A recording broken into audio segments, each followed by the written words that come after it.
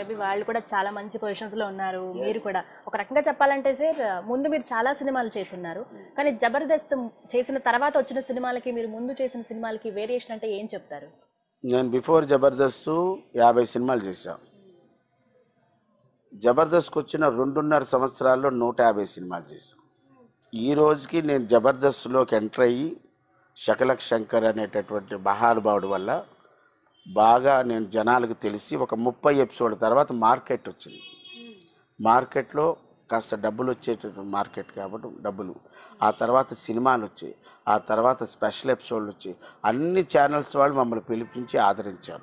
ఆ తర్వాత సినిమాలు ఎక్కువగా చేయటం వల్ల శకలక్ శంకర్ గారు సినిమాకి వెళ్ళిపోయాడు.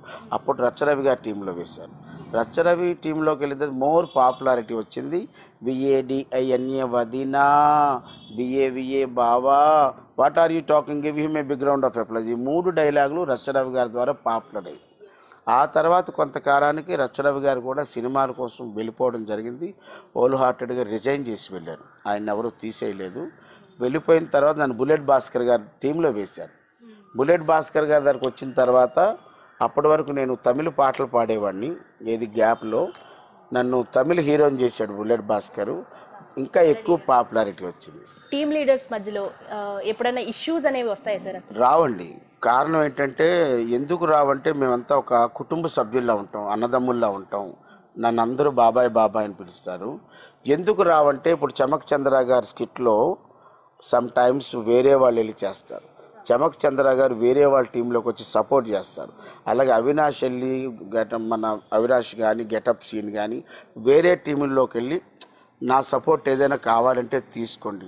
అది నిజంగా స్ప్లిట్స్ వస్తే ఒకళ్ళ టీంలో నుంచి ఒకళ్ళు వెళ్ళరు. మాదే గొప్ప మా టీమే కదా. నేను వెళ్ళి ఆ టీంలో చేస్తే అదేదో విన్ అయితే మా టీం పోయినట్టే కదా. అలా ఉండదు. మా కాంపిటీషన్ ఎంతసేపు ఆన్ ఫ్లోర్.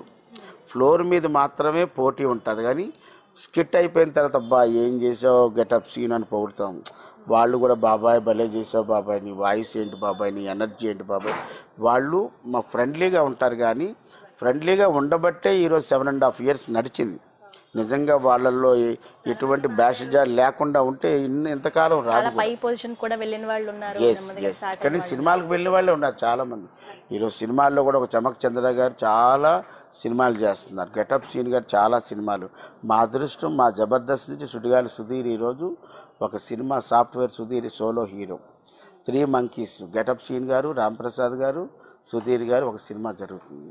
ఇంకా మిగతా టీంలో ఉన్న వాళ్ళందరూ సినిమాల్లో కూడా బాగా బిజీగా ఉన్నారు. యాంకర్ రష్మి యాంకర్ అనసూయ ఎలా ఉంటారు సార్ అసలు సెట్స్లో ఎలా ఉంటారు? వెరీ ఫ్రెండ్లీ అండి.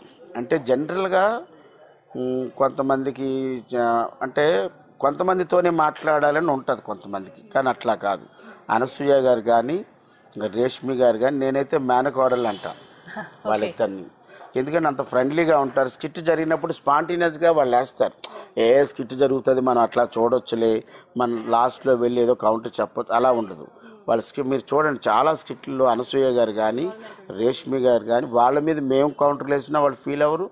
వాళ్ళు మా మీద కౌంటర్లు వేస్తారు. అంత ఫ్రెండ్లీ అంటే జడ్జెస్ తర్వాత అంత ఫ్రెండ్లీగా ఉన్న వాళ్ళలో రేష్మి గారు అనసూయ గారు. బాగా స్కిట్ చేసిన తర్వాత మీకు తెలుసు మీ టీం బాగా స్కిట్ చేసిందని ఇంకా మిగతా వాళ్ళు కూడా బాగా పెర్ఫామ్ చేశారని తెలుసు. బట్ అలా కంపారిజన్లో ఉన్నప్పుడు ఒకళ్ళకే మనీ ప్రైజ్ మనీ ఇచ్చినప్పుడు మీ ఫీలింగ్ ఏంటి సార్ మేమేం ఫీల్ అవ్వం కూడా. ఎందుకంటే వాళ్ళకి వచ్చింది వాళ్ళకి ఇచ్చారు. అంటే ఇంకో కారణాలు ఇంకో సైడ్లో మీరు ఏం చెప్పదలుచుకున్నారంటే అరే ఈ స్కిట్ బాగానే ఉంది కదా వీళ్ళకి ఇవ్వకుండా వాళ్ళకి ఎందుకు ఇచ్చారు? ఇప్పుడు మీరు చూసేది టీవీలో వచ్చే స్కిట్ జడ్జెస్ చూసేది లైవ్లో స్కిట్ ఓకే ఇప్పుడు మీరు ఉంటుంది. ఎందుకంటే ఒక స్కిట్ ముప్పై నిమిషాలు దాటిపోయింది అనుకోండి ఒక స్కిట్టు క్యూట్ అండ్ స్వీట్ లాగా ఐపరాది లాగా ఒక పది నిమిషాల్లో తేల్చేసాడు అనుకోండి పంచుల వర్షం ఆన్ చేయడం ఒకటే ఉండదు వాళ్ళ దగ్గర. టపాటపా వెళ్ళిపోద్ది. అయితే ఈ ముప్పై నిమిషాల స్కిట్లో బోల్డ్ లేగలు రావచ్చేమో? ఓకే మాకంతా ఎడిటెడ్ వెర్షన్ వస్తుంది. మీకు ఆఫ్టర్ ఎడిటింగే మీకు వస్తుంది. బిఫోర్ ఎడిటింగ్ అనేది డైరెక్టర్స్ చూస్తారు.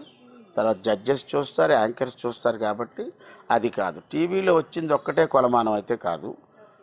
ఓ పది నిమిషాల స్కిట్లో కూడా లాగులు ఉండొచ్చేమో అక్కడ ఒకటి అక్కడ ఒకటి అక్కడ ఒకటి డైలాగ్ చెప్తారు. అది కాదు. ఇక్కడ వాళ్ళు క్లియర్గా చూస్తారు. స్కిట్ అయిపోయిన తర్వాత మొత్తం స్కిట్లు అన్నీ అయిపోయిన తర్వాత డైరెక్టర్స్ వస్తారు. మేడం గారు బాబు గారితో మాట్లాడతారు. మ్యాక్సిమం నైంటీ నైన్ పర్సెంట్ వీళ్ళు అనుకున్నది వాళ్ళు అనుకున్నది ఒకటే అవుతుంది. అంతే జడ్జిమెంట్. ఓకే. ఇన్ కేస్ ఎక్కడైనా ఒక స్కిట్ బాగా ఉందనుకోండి ఇంకో స్కిట్ బాగుందనుకోండి ఇద్దరికి ఇమ్మంటారు. ఓకే.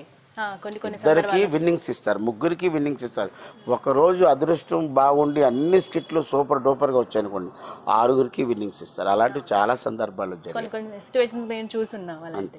ఒక్కొక్కసారి ఆ, మొన్న యోధ బర్త్డే అయింది. రాకేష్ చాలా బాగా చేశాడు స్కిట్ అంటే పెళ్ళి చూపులకు సంబంధించిన స్కిట్ చేశాడు. ఆ స్కిట్లో అందరూ బాగా పెర్ఫార్మ్ చేశారు. బోల్డ్ లాఫ్ వచ్చింది. ఆ అమ్మాయి బర్త్డే కాబట్టి వాళ్ళకి ఒక విన్నింగ్ ఇచ్చారు. అంటే స్కిట్ కూడా బాగుంది కాబట్టి బాగోలేకపోతే కూడా ఉండదు. చక్కగా కేక్ అది కట్ చేస్తారు సాంప్రదాయంగా అంతా బాగుంటుంది జబర్దస్త్లో. అలా ఇస్తారన్నమాట. హైపరాది ఎంటర్ అయిన తర్వాత జబర్దస్త్లో చాలా మార్పులు జరిగాయని విన్నాను సార్. ఏంటంటే మార్పులు కాదు. అప్పుడు దాకా ఉన్నటువంటి జబర్దస్త్ తాలూకా రేటింగ్ పెరిగింది. ఆ స్కిట్ టెలికాస్ట్ అయిన నెక్స్ట్ డే కొన్ని మిలియన్స్లోకి వెళ్ళింది.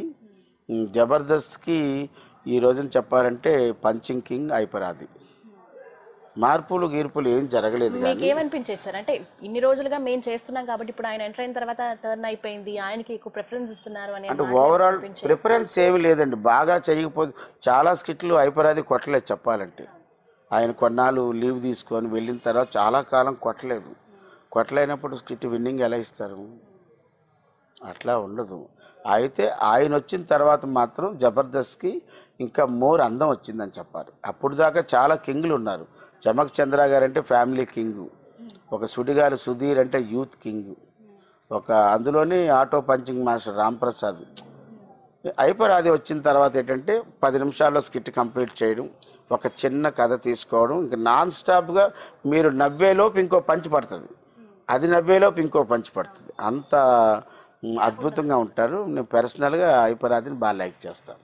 ఓకే. మీకు ఇష్టం బాగా ఆయన అంటే? టీమ్ లీడర్స్లో ఇంకా ఎవరితో మీరు బాగా మింగిల్ అవుతూ ఉంటారు? నేను అన్ని టీముల్లో నన్ను గౌరవంగా పిలిచారు. అపార గారు మీరు ఈ క్యారెక్టర్ అయితే మీకు బాగుంటుంది అన్నప్పుడు నేను చేసిన సందర్భాలు అలా ఒక చమక్ చంద్ర గారు కానీ అవినాష్ మొన్న ఒక స్కిట్ అనుకున్నాడు. నేను మర్చిపోయి నేను వేరే డ్రెస్ లేడీ గెటప్ వేసేసుకున్నాను.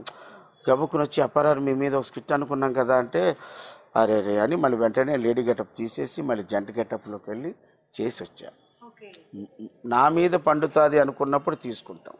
అప్పారాగారు లేకపోయినా వెళ్తాదంటే వేరే వాళ్ళు పెట్టుకుంటాను అంతే. సుధీర్ టీం ఏదైతే ఉందో దాదాపుగా వాళ్ళు ఎక్కువ ప్రాక్టీస్ చేయరు డైరెక్ట్ చేయడమే వాళ్ళు స్టేజ్ మీద చేస్తారు కానీ అలాంటి వాళ్ళకి కూడా రోజా గారు నాగబాబు గారు ఎందుకు సపోర్ట్ చేసి వాళ్ళకి ఇస్తారు అనే మాట కూడా ఉంది సార్. అది అబద్ధం. అసలు ప్రాక్టీస్ చేయలేదు డైరెక్ట్ స్టేజ్ వాళ్ళు ప్రాక్టీస్ చేయక్కర్లేదు కూడా. వాళ్ళు నలుగురు నాలుగు సైనికుల్లో ఉంటారు. వాళ్ళ టీంలో Sudigali Sudheer is a team leader getup Seenu is a super star ఇంక రచయిత పంచింగ్ మాస్టర్ రాంప్రసాద్ వీళ్ళ ముగ్గురు ఒకటైతే సన్నీ ఒక్కడ ఉంటాడు. అంటే వీళ్ళు ము- ఇప్పుడు ఎలా ఉందంటే ఇంతకుముందు మనం కంటెంట్ చెప్పి స్టేజ్ ఎక్కేసేవాళ్ళం. ఇప్పుడు అది కాదు. ఇప్పుడు స్క్రిప్ట్ రెండు మూడు రోజుల ముందు వినిపించాలి. అది నచ్చిందా లేదా చెప్పాలి. చెప్పిన తర్వాత ఇన్ ఫ్రంట్ ఆఫ్ డైరెక్టర్స్ ముందు లేదా ఇన్ఛార్జ్ డైరెక్టర్స్ ఉంటారు. డైరెక్టర్స్ కిందన మళ్ళీ ఉంటారు. వాళ్ళ ముందు చూడాలి. వాళ్ళు ఓకే చేసి బాగుందన్నది కాకపోతే లాస్ట్ క్లైమాక్స్ కొద్దిగా ఇబ్బందిగా ఉందని చెప్తే డైరెక్టర్స్ వచ్చి కూర్చొని చేస్తారు. అంత చూపిస్తేనే రెండో రోజు స్కిట్ స్టేజ్ మీద వెక్కాలి. లేదంటే వదిలేయమంటారు. వద్దు సార్. మారిపోయింది. చాలా మారిపోయింది. చాలా వడపోత అయిపోయింది. వాళ్ళు ఏంటంటే వస్తారు టప టప టప అనుకుంటారు. ముందు స్కిట్ అంతా పేపర్ మీద ఉంటుంది. ఒకే పేపర్ ఉంటుంది. రాంప్రసాద్ చేతులు ఎప్పుడైనా మీరు లైవ్లో చూడండి అతన్ని. ఒకే ఒక్క చిన్న పేపర్ ఉంటుంది. అంతా రాసుకుంటాడు. తిరుగుతాడు. నాలుగు సార్లు నాలుగు రౌండ్లు తిరిగి అందరూ కూర్చుంటారు. ఎందుకంటే ఇంప్రవైజ్ చేసేవాళ్ళు వాళ్ళు కింగ్స్. గెటప్ సీన్ ఒక గెటప్తో వస్తాడు. ఇది కాదు అది కాదు ఇది కాదు మార్చుతారు టపా టపా స్టేజ్ ఎక్కుతారు. ఆన్ స్పాట్లో చాలా ఎక్కువ చేస్తారండి. స్కిట్ ఎంత ఉంటుందో స్పాట్ ఇంప్రవైజేషన్ చాలా ఎక్కువ ఉంటుంది. కామెడీకి కావాల్సింది అది. అయితే సుధీర్ విషయం వచ్చినప్పుడు ఖచ్చితంగా రష్మి సుధీర్ అనే మాట ఎప్పుడు వినపడుతుంది? ఇందులో నిజమెంత సార్ అసలు? ఎందుకు ఈ ఊహాగానాలు? మీకు ముత్తాత గారు ఉన్నారా? ముత్తాత ఉంటాడు కదా. ఉన్నారు సార్ ఇప్పుడు లేరు. ఆ, లేకపోయినా ముత్తాత ఉంటారు తాత ఉంటాడు నాన్న ఉంటాడు మనం ఉంటాం. మన ముత్తాతల దగ్గర నుంచి ఒక మాట ఉంటుంది. అదిగో పులి అంటే ఇదిగో తోక అంటాం. అంటే ఎవరు చూసింది లేదు. ఆ పులిని చూసింది లేదు తోకని చూసింది లేదు. కానీ చెప్పేది ఏంటంటే రేష్మి గారికి సుధీర్ గారికి ఏదో ఉంది సంథింగ్ సంథింగ్ ఆ ఉంది ఉంది అన్నదే ఈ రోజున ఒక ఐదు ఆరు స్పెషల్ ఎపిసోడ్ వాళ్ళ మీద చేశారు. ఆహనా పెళ్ళంట. వాళ్ళకి మ్యారేజ్ చేసి వాళ్ళకి హనీమూన్ పంపించడం ఇంత అంతే. అంటే ఒక పేరు ఇప్పుడు మన సినిమాల్లో ఒక పేరు ఉందనుకోండి. ఒక పేరు ఉన్నప్పుడు అది బాగుంది అనుకుంటే దాన్ని కొద్దిగా ముందుకు తీసుకొని వెళ్తారు. అలాగే జరిగింది తప్పించి సుధీరు రాంప్రసాద్ గెటప్ సీను అందరం ఫ్రెండ్స్గానే ఉంటాం. కాకపోతే జనాలకి ఏంటంటే నేను వెళ్ళినప్పుడు కూడా మీరు అడిగారు పబ్లిక్లు అడుగుతారు ఏంటంటే చిన్న మాట అప్పారు గారు సుధీర్కిని రేష్మికి ఏదో ఉందట నిజమేనా? అంటారు. ఏమో నాకు తెలియదమ్మా అందరూ ఫ్రెండ్స్గా ఉంటాం మా కాన్స్ట్ మీరు ఐదు నిమిషాలు కూడా మాట్లాడుకోరు అక్కడ. ఆ జడ్జిమెంట్ టైంలో నిలబడతాంగా అక్కడ ఒక్క నిమిషం ఏదైనా కామెడీ చేస్తే ఆ అమ్మాయి ఏదో చేస్తే ఎలాగంటే ఇతను ఏదో మాట్లా అంతే తప్పించి అంతకుమించి ఏమి ఉండదు. చాలా సందర్భాల్లో. మనసులో ఉన్నారు అనే మాట కూడా ఆయన వ్యక్తం చేశారు. ఉంటే మరీ మంచి ఆనందపడేవాళ్ళు మనమే కదా. ఇప్పుడు రేష్మి సుధీర్ గారు పెళ్ళి చేసుకున్నారే అనుకుందాం. ఆనందపడేది కూడా మనమే కదా. బా వాళ్ళిద్దరి మీద అంత మంచి రోమర్ వచ్చింది కదా. ఇది గ్లామర్ ప్రపంచం. ఇక్కడ గ్లామర్ ఎంత ఉంటుందో రోమర్ ఎంత ఉంటుంది. అందుకోసం ఇది దీన్ని కాలమే చెప్తుంది మనం ఏం చెప్పలేం. బట్ అంతే తప్ప అక్కడ ఏం లేదండి. ఏమీ లేదు. అంతే. అసలు ఒక క్షణం ఖాళీ ఉండదు అతనికి. ఒక పక్క సినిమా ఒక పక్క జబర్దస్త్ ఒక పక్క డీ జోడి ఒక పక్క పోవే పోరా. ఇంకెక్కడ జోడీలో కూడా వాళ్ళిద్దరు పేరింగ్ ఇప్పుడు ఒక సినిమా ఒక హీరో ఉంటాడు. ఒక హీరోయిన్ ఉంటుంది. వాళ్ళది హిట్ పేర్ అయింది. ఒక నాలుగు సినిమాల తర్వాత హిట్ పేర్ అయింది. ప్రొడ్యూసరు డైరెక్టర్ ఏం ఆలోచిస్తారు? సేఫ్ జోన్లో ఉండాలంటే ఆ అమ్మాయికి ఈ అబ్బాయికి సినిమా చేద్దాం ఉంటారు అంతే కదా? అదే నడుస్తుంది జబర్దస్త్లో కూడా. ఇంకా అంతకుమించి ఇంకేమీ లేదు. ఇప్పుడు మీరు ఉన్నారనుకోండి ఇప్పుడు యాంకర్స్లో బోల్డ్ మంది యాంకర్స్ ఉంటారు. పొలిటికల్ లీడర్స్ చేసే యాంకర్స్ వేరేగా ఉంటారు. లేదంటే జనరల్గా చేసేవాళ్ళు కొంతమంది. పొలిటికల్ లీడర్స్ని మాట్లాడేటప్పుడు మామూలు యాంకర్ని పంపిస్తారా? ఎంతో నాలెడ్జ్ ఉంటే కానీ పొలిటికల్ చదువుకున్న అమ్మాయో అబ్బాయో ఉంటే కొన్ని ప్రశ్నలు వెయ్యాలి. ఎందుకంటే వాళ్ళు అద్భుతమైనటువంటి వాగ్దాటి వాళ్ళ దగ్గర ఉంటుంది. వాళ్ళు ప్రశ్నించాలంటే ప్రశ్నించే యాంకర్ దగ్గర కూడా స్టఫ్ ఉండాలి కదా. అలాగే ఇక్కడ జబర్దస్త్లో రేష్మి సుధీర్ గారిది హిట్ పేరు.